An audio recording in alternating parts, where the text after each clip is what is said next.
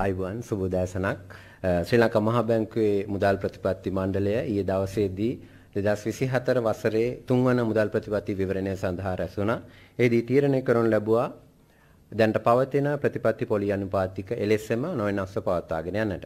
ඒ අනුව නිත්‍ය තැන්පතු පහසුකම් අනුපාතිකය 8.5ක් ලෙසත් නිත්‍ය ණය පහසුකම් අනුපාතිකය 9.5ක් ලෙසත් ව්‍යවස්ථාපිත සංචිත අනුපාතය 2ක් ලෙසත් නොවෙනස්ව පවත්වා ගන්නවා ඇති.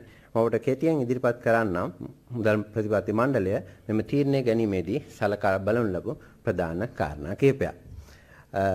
ආර්ථිකයේ භාණ්ඩ හා සේවා මිල වැඩිවීමේ වේගය උද්දමනය තවදුරටත් අඩු මට්ටමක තමයි පවතින්නේ. අප්‍රේල් මාසයේදී උද්දමනයේ වාර්තා වුණේ 1.5ක් ලෙස ඒ වගේම යම් යම් උද්දමන කාණ්ඩවල ආහාර සහාර නොවන කාණ්ඩවල අපි පහුගිය මාසයක් පාසා ගණනය කිරීම බැලුවොත් එහෙම අවදමනයන් වාර්තා වූ අවස්ථාවක් තිබෙනවා. ඒ වගේම අපි අපේක්ෂා කරනවා ඒ නිසා ඉදිරි මාස කිහිපය තුළ උද්දමනය අපේ ඉලක්කගත 105ට වඩා අඩු අගයක පවතීවි කියලා. ඒ වගේම රජය විසින් පරිපාලනය කරන ලද භාණ්ඩ හා සේවාවල මිල ගණන් වෙනස් වීමත් ආහාර ද්‍රව්‍ය ආහාර කාණ්ඩයේ ද්‍රව්‍යවල මිල ගණන් වෙනස් වීමත් මෙම උද්දමනය අඩුව අගයක පවතිනට ප්‍රධාන වශයෙන් හේතු වෙනවා. ඒ වගේම මැදි කාලයේදී උද්දමනය අපි අපේක්ෂා කරන 5ක අගයක් කරා ළඟා වනු ඇති. වෙළඳපොළ පොලි අනුපාතිකය සමස්තයක් විදිහට පොලි අනුපාතික ව්‍යුහය පහත වැටී තිබෙනවා.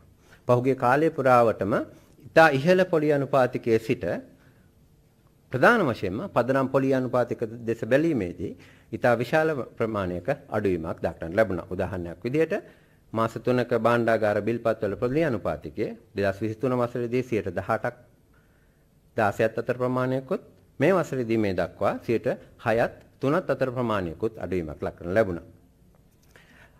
ඒ කෙසේ වෙතත් අපි අවධානය යොමු කරන ප්‍රධාන කාරණයක් තමයි වෙළඳපොළ පදනම් පොලි අනුපාතික සහ ප්‍රතිපත්ති පොලි අනුපාතික වල 7ක අඩුවීම 2023 ජූනි මාසයේ සිට සිදු කරන ලද ප්‍රතිපත්ති පොලි අනුපාතිකත් අනිකුත් ප්‍රතිපත්ති ලිහිල් කිරීමත් එක්ක සලකා බැලීමේදී වෙළඳ පොළ තව අවකාශය තිබෙනවා. විශේෂයෙන්ම ඉත වෙළඳ පොළ පාරිභෝගිකයන්ට ලබා දෙන ණය පොලි අනුපාතිකේ තව දුරටත් අඩුවීම සඳහා. ඒ අනුව මූල්‍ය ආයතනවල පිරිවැය අඩුවීමත් වෙළඳපොළ ද්‍රව්‍යශීලීතාවයේ ඉතා විශාල වශයෙන් දියුණු වීමත් තැන්පතු පොලි අනුපාතික අඩුවීමත් යන විශේෂ හේතුන් හින්දා මූල්‍ය ආයතනට අවස්ථාව තවත් තිබෙනවා තව දුරටත් Tamanගේ ණය පොලි අනුපාතික පහත හෙළීම සඳහා. ඒ වගේම මේ ණය පොලි අනුපාතික පහත හෙළීම ආර්ථිකයේ වර්ධනයට අවශ්‍ය ප්‍රධාන සාධකයක් වන පෞද්ගලිකාංශයට ණය ප්‍රසාරණය කිරීම සඳහා ධනාත්මකව බලපානු ඇති විශේෂයෙන්ම මේ වසරේ මේ දක්වා මාස 3ක කාලය තුල අපි අපේක්ෂා කර මට්ටමක පෞද්ගලිකාංශයට ණය ප්‍රසාරණයක් සිද්ධ වෙලා නැහැ. ඒ නිසා අපි අපේක්ෂා කරන ණය පොලි අනුපාතික අඩුවීමත් තවදුරටත් ණය ප්‍රසාරණය සඳහා සහාය වෙනු ඇති. විදේශාංශය ශක්තිමත්ව පවතිනවා. ඒ වගේම විදේශ සේවාංශයේ ප්‍රේෂණ ලැබීම් මාසයකට මිලියන 50කට ආසන්න ප්‍රමාණයක් අකණ්ඩව පවතිනවා. මේ වසරේ ජනවාරි සිට අප්‍රේල් මාසය දක්වා කාලය තුල ඩොලර් බිලියන 2ක විදේශ ප්‍රේෂණ රට තුළට ලැබී තිබෙනවා. ඒ වගේම සංචාරක ඉපයීම් තුලින් බිලියන 1.3ක පමණ ප්‍රමාණයක් මේ මාස හතර කාලය තුල ශ්‍රී ලංකාවට පැමිණිලා.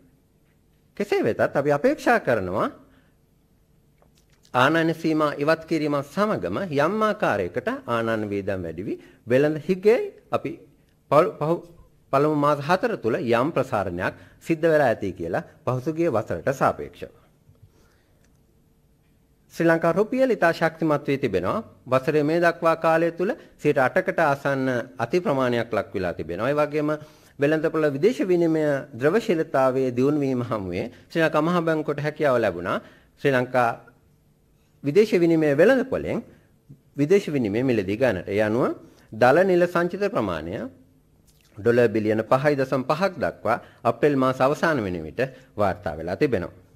මම නැවතත් අවධාරණය කරනවා ශාකා මහ බැංකුවේ මුදල් ප්‍රතිපත්ති මණ්ඩලය වෙනුවෙන් වෙළඳ පොලේ පොලි අනුපාතික අඩු කිරීම සඳහා සඳහා තවදුරටත් අවකාශ පවතිනවා.